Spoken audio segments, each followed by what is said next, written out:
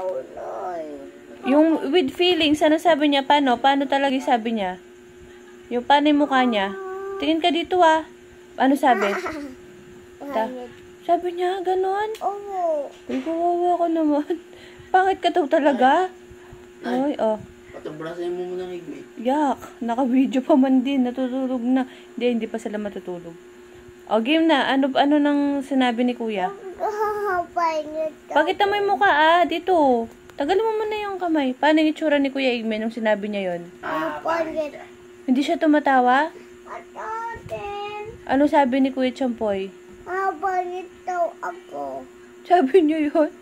Paano yung mukha nila? Paano yung face nila nung tumatawa nung nga pangit? Ganon? Ganon? Opo. Nagsusumbong ka ba o nanunutil ulit? Eh. Ay, Sampal pa nga ako eh. ay, huwag ka nananampal ng Kuya Tin, Badyo. Ay, Tapos siya Ay. niya.